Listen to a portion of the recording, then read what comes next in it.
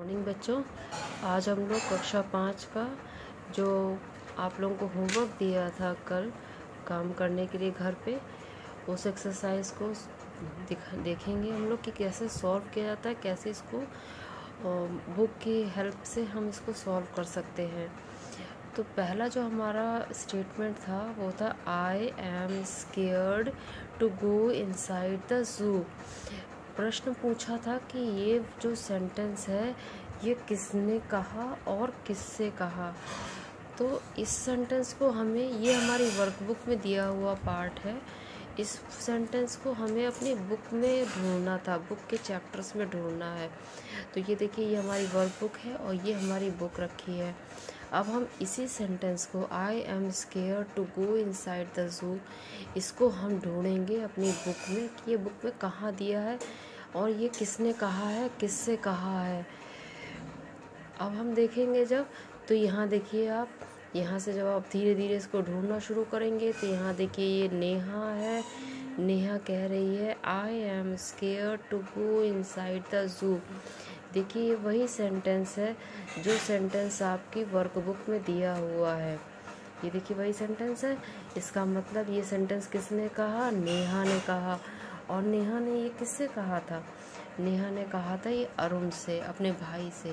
तो यहाँ क्या कहेंगे हम? Neha said to Arun. Neha ने अरुण से कहा।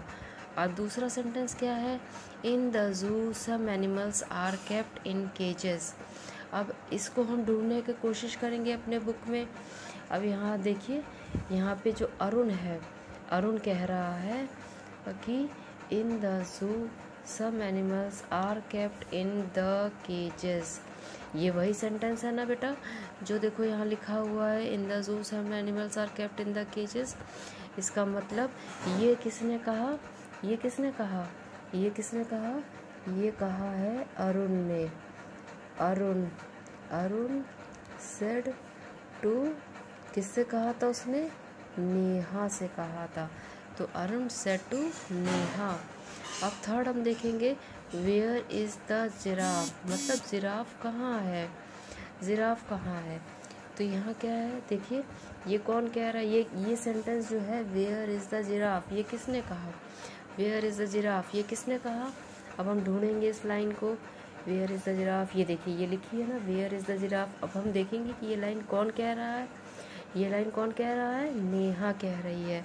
तो हम यहाँ लिखेंगे यहाँ लिखेंगे हम, नेहा सेड टू, और किससे कह रही है वो? अपने भाई अरुण से कह रही है, नेहा सेड टू अरुण। अब हम फोर तो सॉल्व करेंगे। ओ my god look at the tiger कि अरे टाइगर को देखो। अब ये लाइन किसने कहा? ढूंढिए आप लोग। ये देखिए, यहाँ लिखा है ना look at the tiger look at the tiger मतलब टाइगर को देखो। ओ माय गॉड ये देखिए वही लाइन है जो यहाँ लिखा हुआ है। ओ my god look at the tiger अब ये देखो कि ये लाइन कौन कह रहा है? ये लाइन कौन कह रहा है? नेहा कह रही है। तो यहाँ क्या लिखेंगे हम? नेहा सेड टू अरुण अब आप लोग को समझ में आ गया होगा कि हमें ये किस तरह से सॉल्व करना है। हमें यहाँ देखना है और फिर अपनी बुक में ढूंढना है। जैसे यहाँ लिखा है brother look at the monkeys अब यहाँ हम इसको ढूंढेंगे कहाँ लिखा है brother look at the monkeys कहाँ लिखा है ये? ये कहाँ लिखा है? ये मंकीज़ वाले में जहाँ होगा मंकीज़ वहीं लिखा होगा। ये देखिए लिखा है brother look at the monkeys अब आपको लिखना होगा यहाँ कौन कह रहा है? अब इसके बाद आप दूसरा सेंटेंस देखिए।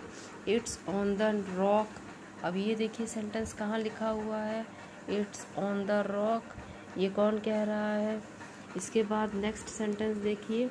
Yes those birds are flying over the trees अब ये देखिए, ये सेंटेंस कहाँ लिखा है? Yes those birds are flying over the trees अब इसको देखिए कौन कह रहा है? चलिए। तो बाकी हमने यहाँ पे सॉल्व करके आपको दिखा दिया है फोर सेंटेंसेस को कि किस तरह आपको करना है। बाकी ये तीन सेंटेंसेस आप लोग अपनी बुक से खुद ढूंढिए और इसको सॉल्व करके भेजिए।